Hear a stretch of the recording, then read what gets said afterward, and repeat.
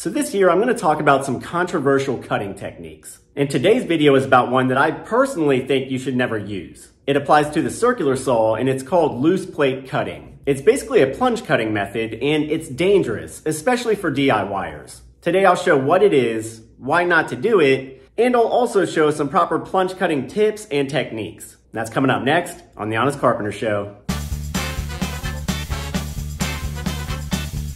So we use plunge cuts to make cuts that start in the field of the board rather than at the edge. That's how you cut out an interior portion of a board. It's tricky for a circular saw because the forward spinning teeth are meant to engage the edge of the board and pass into it. Making plunge cuts requires that we expose the bottom of the spinning blade and lower it into the board. There are some really dangerous ways to do this, and loose plate cutting is one of them. In the loose plate technique, the operator will loosen the sole plate of the tool and let it swing free. They'll line the blade up with their cut mark, set the sole plate flat on the piece, and then lower or plunge the blade into the stock. I've actually seen a lot of pros use this method. They'll often even do it for edge cuts where they're gang cutting multiple pieces of stock, like making stair stringers. If pros want to do it, that's up to them. But DIYers and newcomers should really never do it. And why?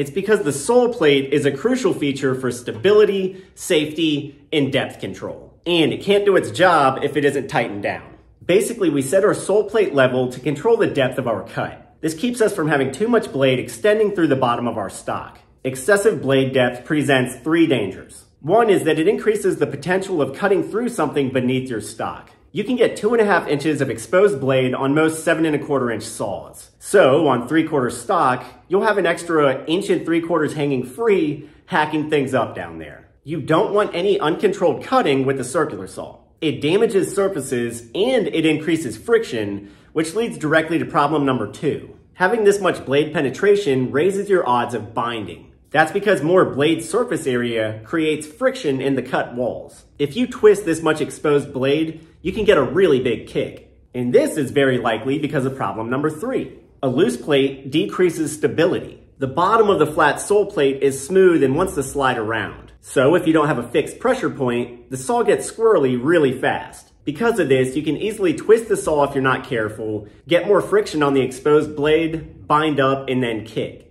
With a loose plate, you're having to control too much at once. Lining up the cut, pulling the guard, lowering for the plunge, and setting the final cut depth. It's just an insecure way to cut. Do it the safe way instead. Keep your sole plate at a fixed depth when you plunge. And here's how you go about that process. To begin, mark out your cut path, making all relevant lines visible. Then lift your stock off your cut table by putting prop blocks beneath it. I like to use 2x material because it gives you a lot of clearance underneath. Now set your cut depth by loosening the sole plate, lowering your blade until it extends about a quarter inch beyond your stock, and retightening your plate here. To make the cut, you want to use the front of the sole plate as a stable pivot point. Try to line up your blade with your cut mark by sighting from above. You can use the zero increment notch as a pretty quick lineup, then try to get more accurate by sighting down the wall of the blade. You can gently tap the blade to the surface as well. Keep in mind that the blade tooth is slightly wider than the blade, and then it's going to leave about an eighth inch notch or a kerf. You want your kerf on the appropriate side of the cut line.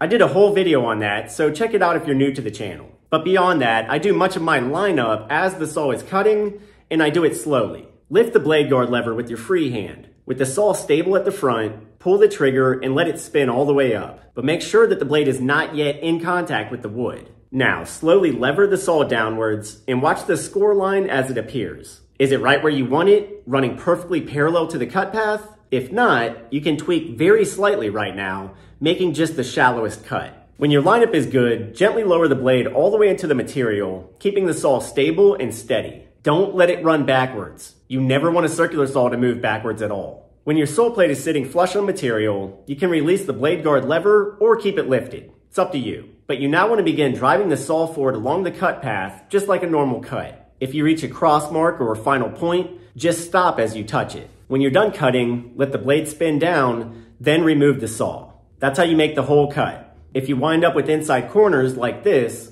you can just finish them with a jigsaw or a handsaw. And here are some things to remember. Wear safety goggles because you have to sort of look over the saw when you're cutting and particles can leap up. Also, make sure your cut surface isn't too high because your elbow already has to get really high when you're making this cut and you don't want to sacrifice control or a good angle.